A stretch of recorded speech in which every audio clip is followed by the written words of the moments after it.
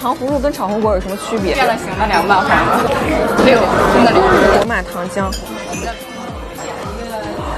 红红，Hello，这里是您的可可呀。你们觉得糖醋里脊是一个北京菜吗？我之前一直觉得是，但是我一四川朋友跟我说他们那里也有。不过没关系，这不影响咱们今天去吃一家离集很出名的北京菜馆。我刚刚听见我身后那一家人也想吃星河小馆，赶紧去排队。天哪，真的要排队？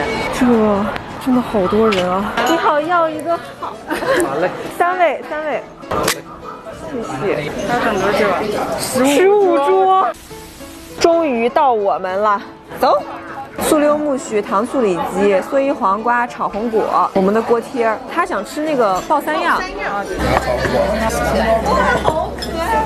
他的蓑衣黄瓜真的好可爱。啊！这个是最可爱的炒红果哦，爆三样来了，糖醋里脊。把这个还给你吧，我要把那个放放到跟前儿。先吃个炒红果，开开胃。糖葫芦跟炒红果有什么区别？这个地方上菜还挺快的，一人俩吃了吧先。我想，我想加这个，你要拍吗？嗯，哟。哎，它是断开的，每一个都是断开的，是应该这样的吗？我的评价是变了形的凉拌黄瓜，它就是切的比较薄一点，没什么。多了一点糖，糖有辣椒，嗯，还是这个炒红果更好吃。但这个红果应该就是罐头。怎么能一口吃两个呢？好吃啊！咱们要不先把这个给吃了吧？每个里面都是有一只虾，然后这里面真的是有爆汁的那种感觉。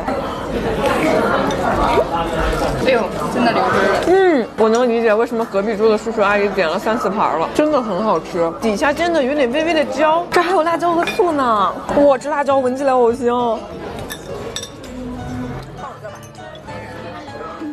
还是有点辣的，但是真的挺香的，那种辣椒籽的香味儿。我们的糖醋里脊这个颜色跟上次我吃的红福亮颜色真的完全不一样，它有一点发红。看每一个都是这种胖墩墩的，我要加一个蘸汤的，我买糖浆。拌糖好脆啊，快趁热吃。脆吗？可能刚上来那会儿应该更脆。我咱来尝一个上面的。嗯，它没有那么的脆，跟红福亮完全是两种口感。红福亮就是那种嘎嘣脆，特别耐嚼磨牙的那种感觉，味道也是两种。红福亮就特别甜，这个就是酸甜口的。看它就是肉很厚，哇，这个肉是真的瓷实，一个大肉条在里面，太下饭了。我来吃吧，我来吃吧。哇，就是真的好大一块。其实上面还有一层的，现在已经被吃下去一层了。这有啥呀？猪肝腰花猪肉笋，哇哇，用这个汁儿拌饭绝了。嗯，酱香味的那种下饭，但是我觉得它猪肝有一点有点猪味儿。嗯，有腰花吗？没了，腰花真的就只有刚才那一大坨。哦，让我来尝一尝这腰花啥味儿的？腰花味儿。嗯，我觉得腰花好吃。猪肝它会有一点猪的那个味道。嗯嗯，我要吃我的四六木须了。这里面有什么？鸡蛋、羊肉、羊肉。好好。是我刚才加了一块很大的羊肉的问题吗？它的羊肉味特别重，我本来以为它是那种鸡蛋的香味会重一些。搞块鸡蛋试试。我感觉羊膻味的一道菜。就我觉得很奇怪一点是为什么它能把每个动物的食材做的味道这么明显？但是这个口感我还是挺喜欢的，黏黏糊糊的。嗯，它里面好像有一点山药，是马蹄，是荸荠。真的吗？粉的，它是脆脆的。山药有脆的和粉的，但好香哦。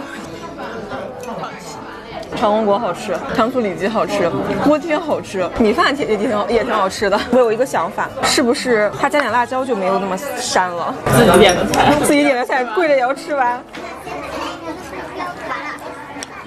好吃，它就差一点辣椒，纯吃就是那种纯酸甜口，然后再加上羊肉膻味就很上头，加点辣椒会好很多，但是没有掩盖它的羊肉味儿。种鱼是对立即之虾瘦了。这汁拌饭也好吃。整体来说，这个味道上，你要是特别想吃锅贴，我觉得还挺推荐的。但你要想吃家常菜，我更推荐红福亮，便宜量大，好吃。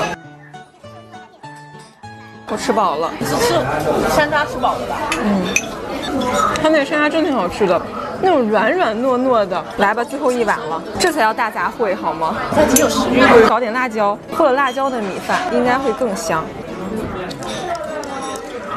果然我还是不适合吃北京菜。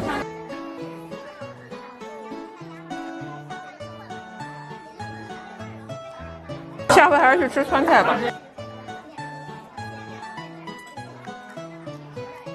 完活了。那今天这期视频呢，到这里就结束了。如果你喜欢本期视频的话，记得长按点赞哦。下期我们再吃点别的吧。下期视频再见喽，拜拜。一键三连哦。